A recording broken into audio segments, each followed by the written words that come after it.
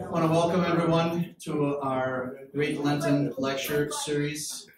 Probably would have been good if I looked back and saw how many years we've been doing this. It must be about 15, I suppose, but I'll, I'll try to have that for you next week. I'm giving the lecture next week.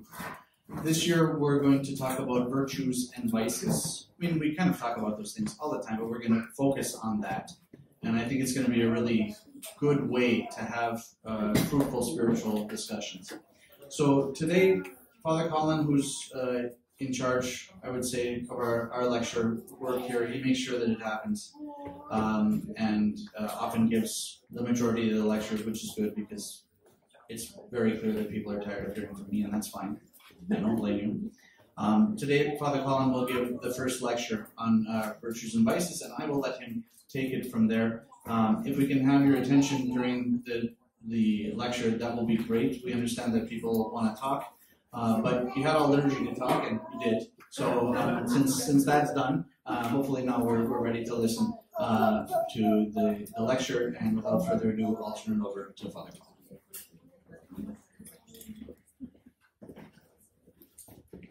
Thank you, Father Gregory.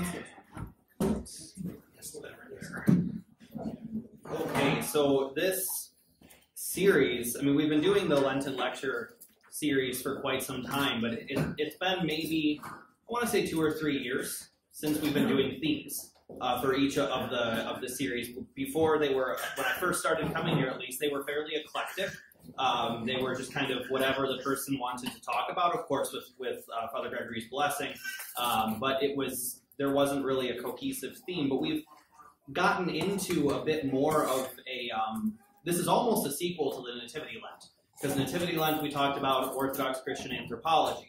So how what we believe about mankind, what we believe about our role um, in the world and our relationship with God, and so on and so forth. And this very much is a continuation of that, in which we look at the ways that we are to both abide by that reality and the ways in which we can fall away. And it's very good that we do this, especially during Great Lent, because Great Lent should be a time of um, reflection, of great uh, self self reflection, and of repentance. Right? We need to know what it is we're repenting from. We need to be able to name those things that keep us from God, and we need to, knowing what they are, be able then to have a toolkit that allows us to fight them. So if we are able to do that, if we know how to fight them through the teaching of the church, then we'll be much better off, right? Because the church doesn't leave us uh, on our own in the spiritual life. It, that you know, Christ doesn't just say repent and then leave it at that. Uh, he tells us how, right? Both through his own words in the Gospels as well as through the uh, writings of the saints. So, when we're beginning this series, uh, this today will mostly just be a definition of terms so that we can know what it is we are talking about. And the three predominant terms that we will be talking about are virtue, vice, and passion. These are all different things, of course, um, but the last two are very often uh, misconstrued. As well as an aside, this is essentially a, an exploded version of one of our catechism classes. So if you have been neglecting catechism or haven't been going because you don't think you need it, once again, we will find you and, and you can't escape. We're coming to you with the catechism, but uh, this is an eight week ver- or well, six week version of what would normally be a, a two to three hour class.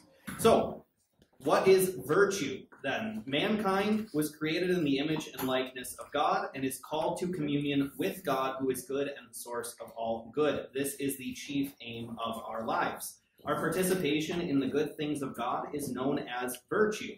Virtue is the assimilation of the attributes of God through abiding in the commandments of God. Or, in short, virtue is what it means to be like God. When God created man, he said, Let us make man in our image and likeness, right? The image of, of God is those that rational faculty, the capability for us to choose love, to choose to follow God. And then the likeness is something we grow into. So, virtue then is the state in which mankind was created, as well as a calling for man to continue to grow in. There is no point in which we can just stop, right? We can say, okay, we're done. That's it. We've made it. Uh, you know, God is God is infinite. He is without beginning or end, and thus the calling to be like God is a goal we will be striving for for all of eternity. God alluded to this when he showed his back to Moses in the book of Exodus. We cannot be like God if we stand opposed to him, meaning we see his face, as Moses asked. We can only abide in virtue if we follow him, if we continue to follow after God, which is why he would not show Moses his face. Virtue is itself also not worthy of a reward. Rather, it is what is expected of us according to nature. It is, in short, the bare minimum. It is what is expected of us. It is what we need to do in order to abide in communion with God, which is our calling. St. Mark the Ascetic, talking about this, says, Do you see how every virtue that is performed, even to the point of death, is nothing other than refraining from sin? Now, to refrain from sin is a work within our own natural powers, but not something that buys us the kingdom. While men can scarcely keep what belongs to him by nature, Christ gives the grace of sonship through the cross. And in a most perfect way of explaining this, our Lord himself says in the Gospel according to Luke, When you have done all that is commanded you, say, We are useless servants. We have only done what is our duty. So, virtue is a duty. It is not something above and beyond what we're supposed to do. It is not something that we should be puffed up about. We should not feel proud, for example, when we give alms or when we uh, do something nice for our wife or our husband or when we uh, you know clean up after ourselves or whatever this is simply what is expected of us it is what is necessary you know we, we don't we shouldn't expect some sort of grand reward by doing simply what is expected, right? St. John of Damascus, also commenting on virtue, says that virtue can only be attained through unremitting effort. Virtue is so called because it is something we choose. We choose it and will it in the sense that we do good by deliberate choice and of our own free will, not unintentionally and under compulsion. So, virtue is something that we have to actively participate in. We have to will and desire and make it happen. And it's also not just the things we do, but how it is done, right? Because the good is only good, as St. John says in this uh, treatise, which is in volume 2 of the Philokalia, if it is done in a good way, right? So if we do good work, expecting something in return, expecting a reward, or expecting to be noticed by other people, or for any other reason other than out of love for Christ, then that good deed is not good, right? And then it's not truly virtue the Lord doesn't simply look at what it is we do or the outward actions, but He also looks at our hearts. A fairly uh, good indicator of this is the Sermon on the Mount, in which the Lord gives this, this very uh, deep and intimate understanding of the commandments of God, being something that penetrates all the way to our innermost inclinations, not just our external actions. So it matters not just what we do, but how we do it and under what context and so on. So that is what virtue is. Virtue is the uh, is that which is good, that which is according to the will of God, that which keeps us in, and allows us to remain in communion with God. So vice then is the absence of that. Wisdom of Sirach uh, says the following: For God created man to be immortal and made him to be an image of his own eternity. Nevertheless, through envy of the devil came death into the world, and they that do hold of his side do find it. As we read, uh, it was Friday, I believe, in Genesis, we read about the fall of man, right? In which man was created in the garden. He was created uh, very good, as the Lord said, and called to abide in his commandments, but that did not obviously uh, be the final result. It wasn't just God created Adam and everything was good and everyone was happy. If we take any kind of moment to self reflect, we recognize that within ourselves there are things that keep us from God. And this is because of the fall, right? Adam and Eve fell from God, they failed to fulfill that commandment, and they broke away. And through that, they lost that which they had. They lost life, right? So, uh, so we've begun to establish then that virtue, that the opposite of virtue, rather, is touching on death and sin.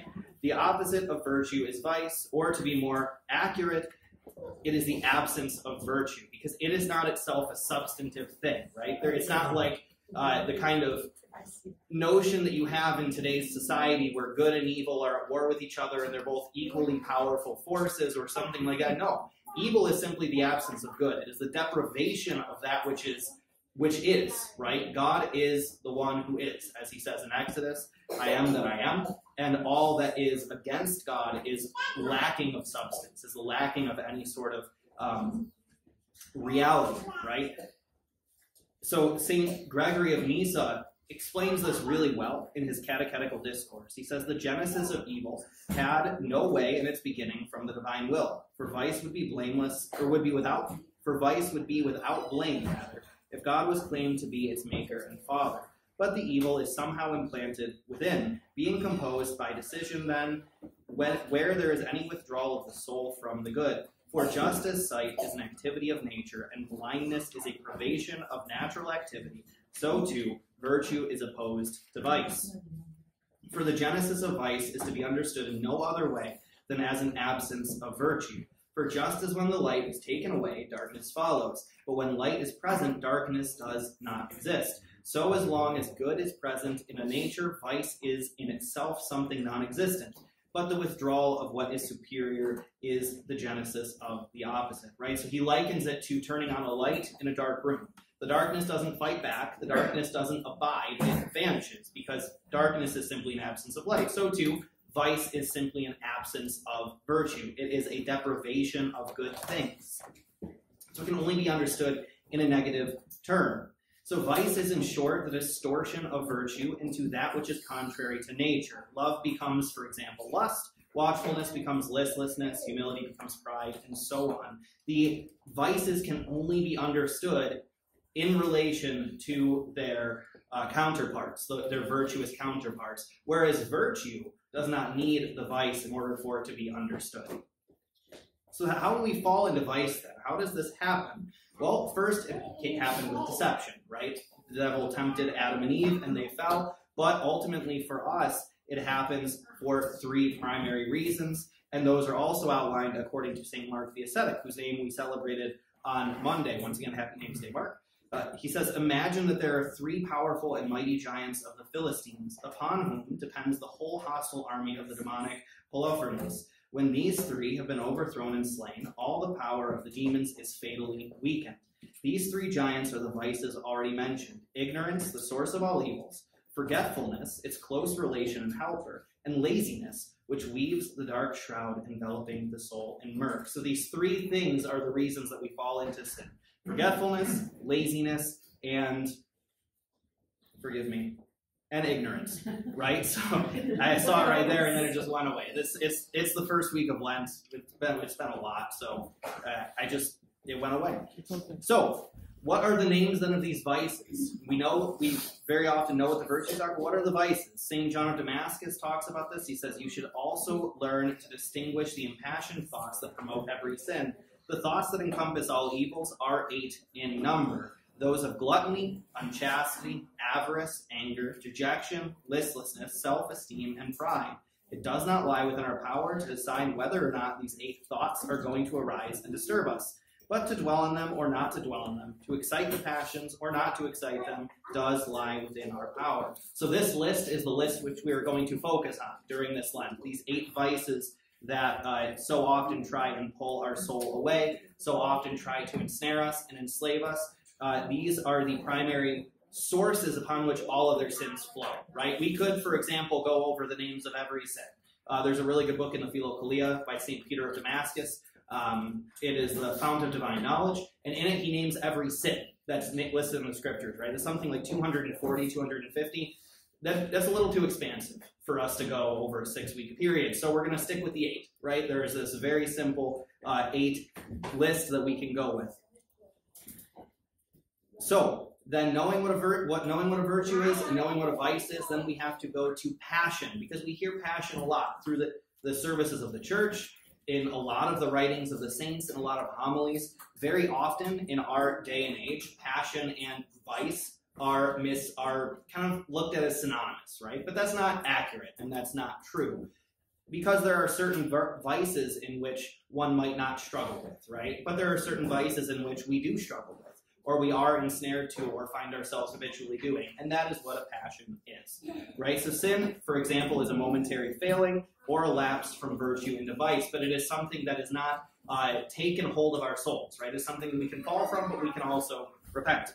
A passion, however, results from habitual sin. It is through habitual sin that we give up our free will and passively engage in sin. So eventually the, the sin just kind of runs roughshod over us, right? It's, it's like we're not even acting upon ourselves. St. Paul talks about this in Romans. He says, What I wish to do, I do not do, and what I do, I do not want to do. You know, so he, he kind of laments this reality of the passions taking hold of one's soul. So our will is no longer than a part of the equation. Sin acts of its own accord within the passion passionate man. St. Peter of Damascus explains this as follows. He says, when the soul dallies for a long time with an impassioned thought, there arises what we call a passion. This, in its turn, through its intercourse with the soul, becomes a settled disposition within us, compelling the soul to move of its own accord towards the corresponding action. Where passion is concerned, unquestionably and invariably, we must either repent proportionally or else undergo punishment in the age to come, as St. John Climacus states. We are punished for the lack of repentance, and not because we have to struggle against temptation. Otherwise, most of us could not receive forgiveness until we had attained total dispassion. But as St. John Climacus again observes, it is not possible for all to achieve dispassion, yet all can be saved and reconciled with God. So, this is a very important thing to note what is important in the spiritual life is not that we get rid of our sins, right? Very often, uh, when people come to confession, they'll say something along the lines of, I want to, this thing gone. It won't go away. I can't get rid of it.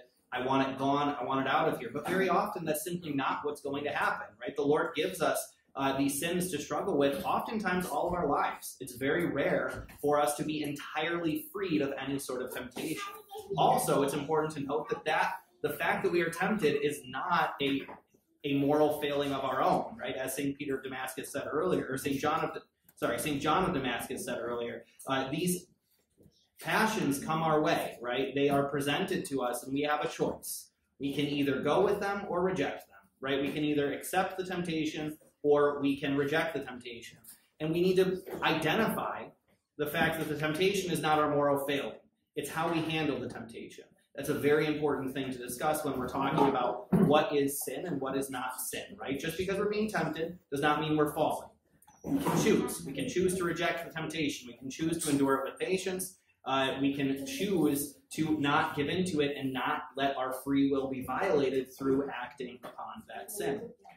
St. Nectarios then, further expounding on this, states that our free will is only free when it moves towards the good. That is the will of God. To enter into sin is to enslave our will to death, thus restricting our ability to will of our own accord. In his work on concern for the soul, which is a really wonderful text, uh, it's available on Amazon. It, I think it's only available on Amazon actually. Um, but a lot of St. Nectarius' works are currently being translated in English, and they're using that as a publishing house, but that's neither here nor there. Uh, he says the freedom of man then is certainly limited wherever, whenever it falls away from the divine law and wars against the will of God, because in revolting against the divine law, the eternal divine will, it finds itself confined in, in the confined and finite cycle of the finite will of the will of the flesh, of the aesthetic nature, which is servile and finite, and it truly loses the mark of freedom itself, because the spiritual and intellectual nature and the will thereof are subject unto the aesthetic nature and to its will. So when we sin, we enslave ourselves to that demon that desires to get us to fall. But when we cease to sin, we abide in free will. Our will is not violated, right? We are able to abide in the commandments of Christ because God is not command. He's not forcing us to do good.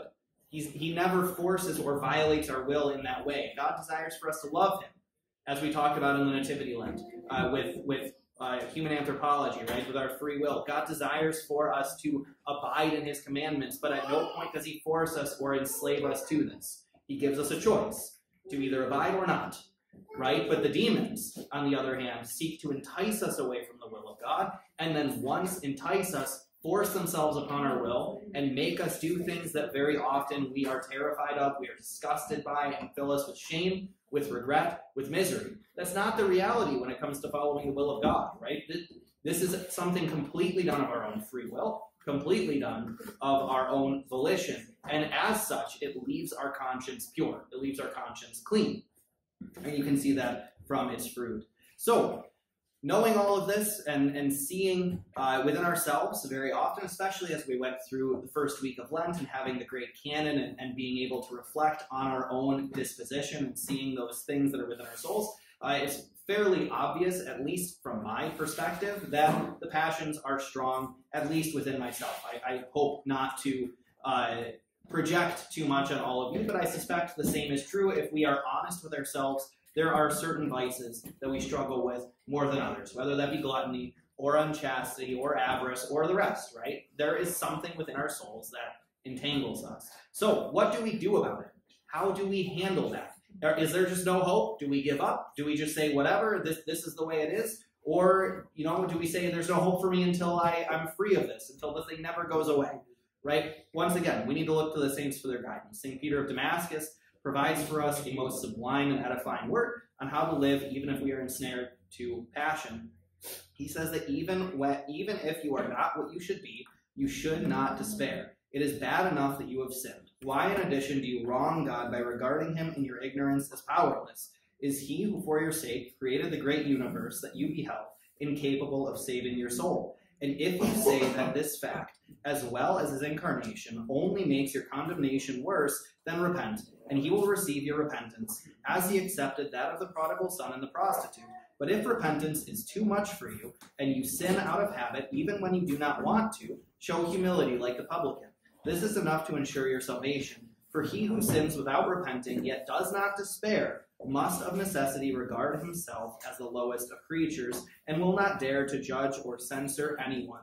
Rather, he will marvel at God's compassion, and will be full of gratitude towards his benefactor. And so many receive, and so many may receive many other blessings as well. Even if he is subject to the devil and that he sins, yet from fear of God he disobeys the enemy when the latter tries to make him despair. Because of this, he has he has his portion with God.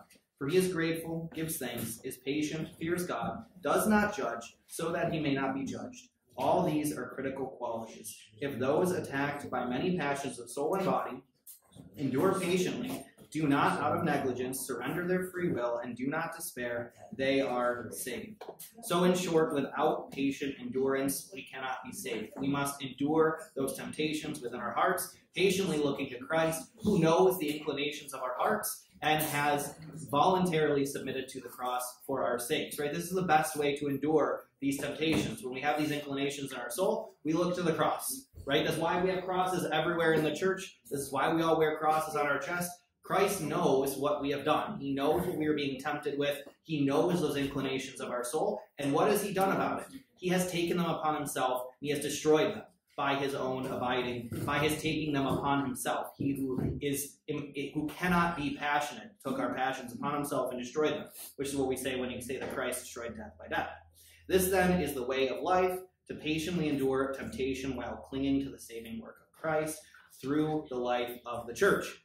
The way of death then is as follows: it is dejection, giving up on our struggle, and entering into slavery of sin without resistance. Now, as we go through the following weeks, we will identify what those passions are, and we will talk about how to fight them directly, how to deal with those inclinations that are within our souls. And hopefully, as we go through this, uh, we will spend some time thinking about ourselves, right? Saying, well, how does this impact me?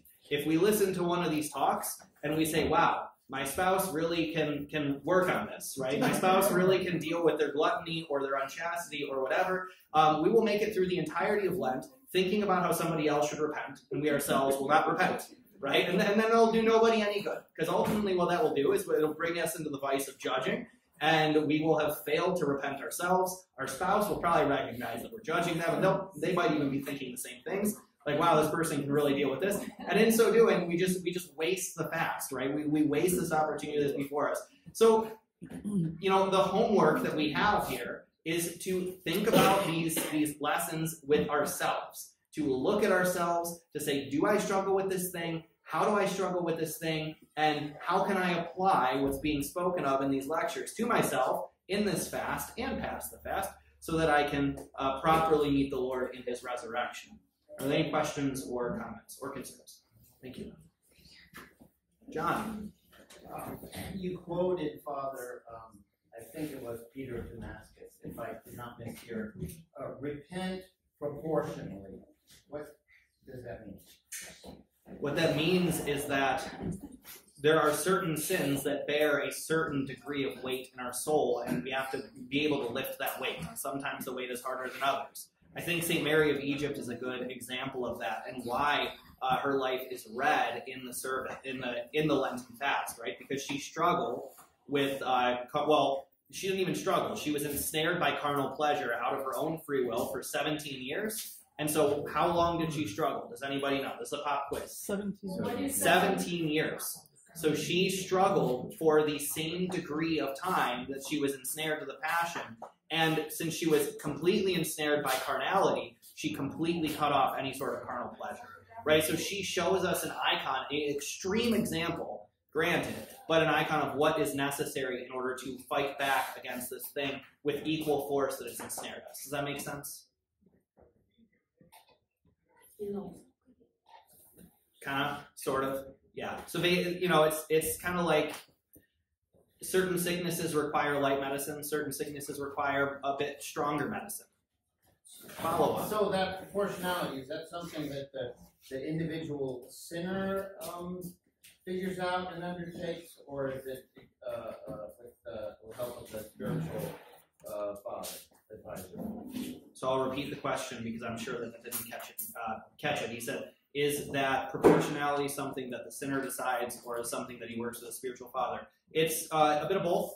Usually, it's you know, for certain sins, it's the same thing with certain sicknesses. We we can take care of them on our own. We can we don't need to go to the doctor, right? If I have if I have a cold with a fever, I pop a Dayquil and I move on, right? So certain smaller sins that we are aware of and we and have a very clear solution to, we can take care of those on our own. With heavier sins, we need to go to the doctor, right? Same with sicknesses. There are certain illnesses where we say, I don't know what's wrong. I don't know why this is happening, so I'm going to go to the doctor to get this worked out. So it's the same thing, right? There, there are certain sins where it's very obvious what I need to do.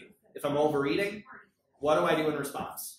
Fast, right? That's pretty simple. But with certain ones like like pride or like self-esteem or something like that, it's much more difficult for us to know how to get out. So it, it's you know it's taken. Um, how do I say this? You, take it a case by case basis, right? Um, we should still, of course, uh, discuss these smaller sins with our spiritual father in confession, right? We shouldn't just say, well, I'm going to deal with it and not mention it. We should, of course, confess, because confession is the beginning of repentance. Um, but very often, in those cases, we, uh, you know, the priest will recognize I don't need to give per- this person advice on this because they're already dealing with it. Um, they, they already know the path forward. Um, so, yeah. Yeah. So it might be a little bit uh, harder to answer. I am parent, well, pretty much three times now, but uh, living in America, like, and you know, certain people push agenda of how they grew up, right? Like reciprocity, right? Is it really bad?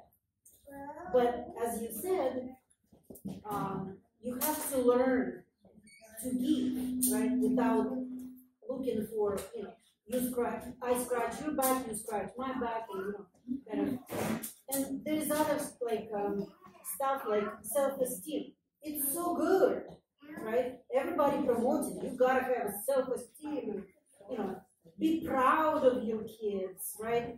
Like all of this kind of stuff, it just seems so contradicting to, as a you know Orthodox Christian and you know following Christ like anybody can have any kind of um, help. Like I have to deal with it third time, and I'm struggling. Right. Well, yeah, I mean that's that's something that St. Paul talked about in the in the church. This what this isn't a new issue, right? This isn't an American problem. This this is you know if the Saint if, if St. Paul talked about it in the in the scriptures, they didn't say things just because they felt like it. You know, he didn't say be not conformed to the world and the lust thereof, but rather renew your mind through the partaking of Christ. He didn't say that just for fun, knowing the Americans will need this in 2,000 years, right? This, he said it because that was an issue even then. Even then, the people were living, the world was living in a way that was contrary to Christ, right? And, and so he would, and so even at that time, they had to do something about it, which was clean, cling to the church, right? And you know, the world is going to tell you things. Fine, let the world say what it's going to say, but abide in the teachings of Christ. If it if it matches up with the teachings of Christ, great.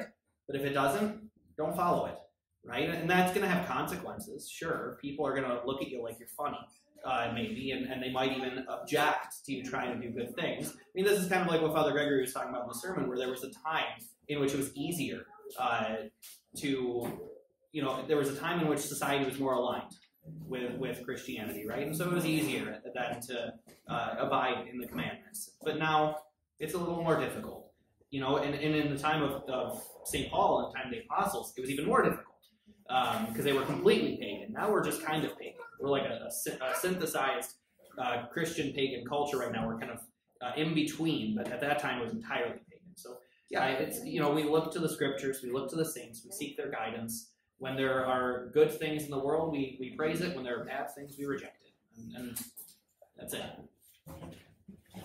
It's hard, makes hard because I grew up like that too. Yeah, it is It hard. wasn't like, you know. And, you know, so yeah, so just to burst anyone's bubble, nothing that we're going to talk about is easy. like, none of this is easy. It's simple. It's simple, and very often people want simple things to be easy, right? But it's not. Like very simply, we could just say, "Stop it."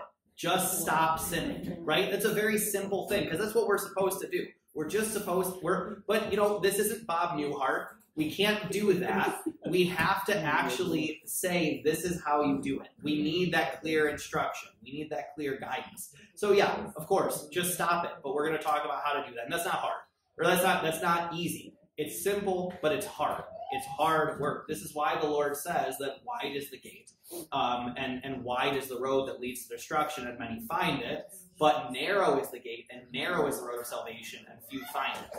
Right? So salvation is not something that's attained by everyone or by many. It's attained by the few who do the hard work. Does that make sense? So we do hard work. Anybody else? Any other questions? Or comments or concerns? Going once. John. I just, um, speaking of philokalia, and maybe this is more for Father Gregory, because, uh, my question is about a, uh, a title in the library that I, uh, came across, Nobra Nubia, which is also a, uh, you know, it's a calque of, of philokalia, but it doesn't line up, I mean, it's, it's, it's almost like it's a different work, but why would it have the same name, it's got different, uh, uh, uh, authors and, and, and, collection is, is different. What's- Is that the Russian Philokalia? Yeah.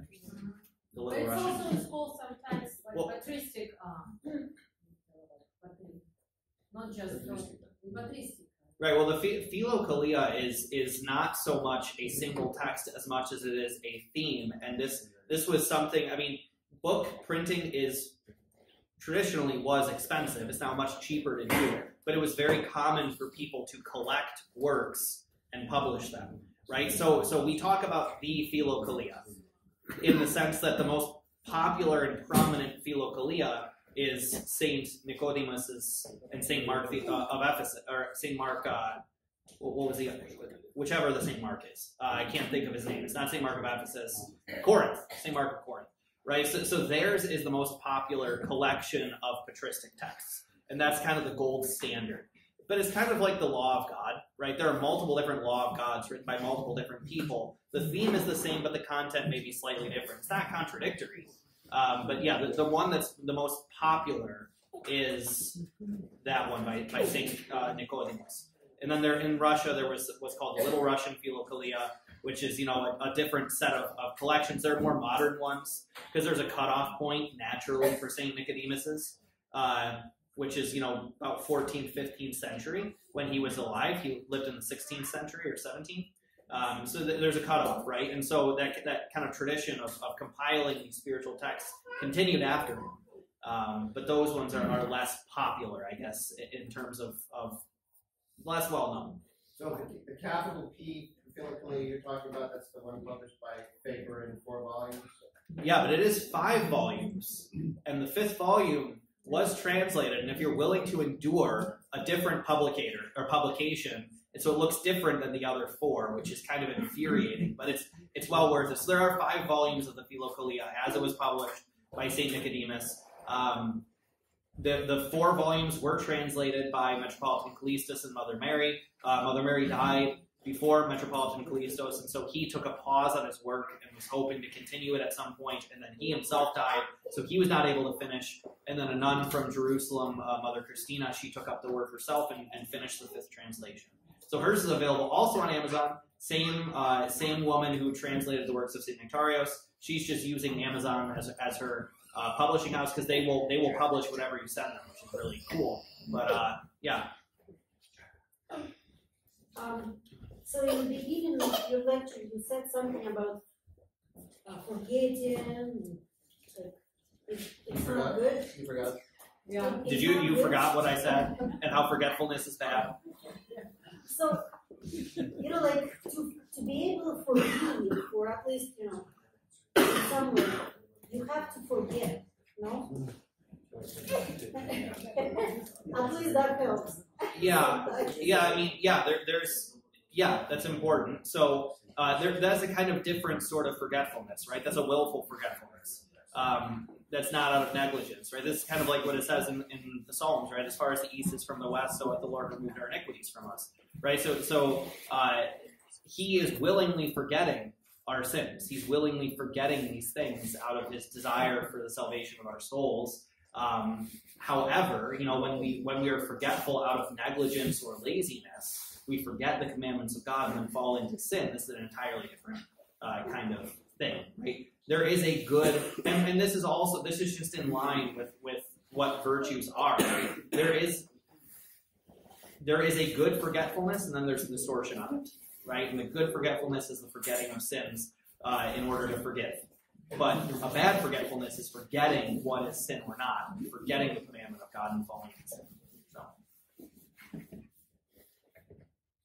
Helen, Oh, would you please repeat the source of some of those quotes you gave in your talk?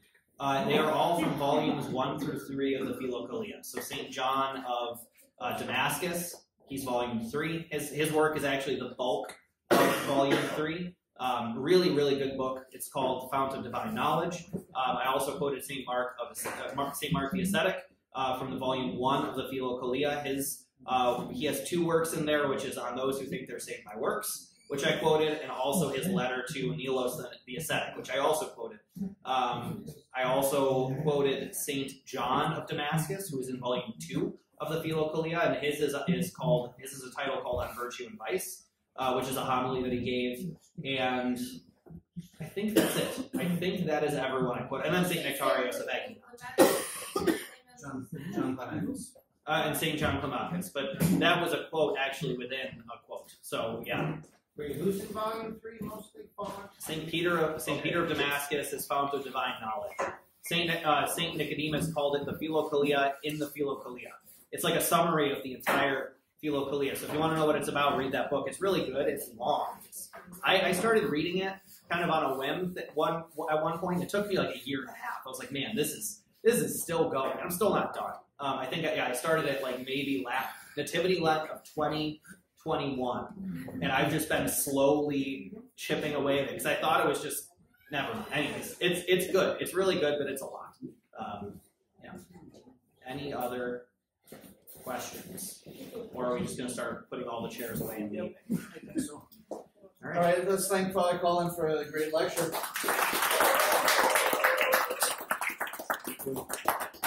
All right, next week we'll continue with the sort of low light. That'll be me, and then we'll just get better and better.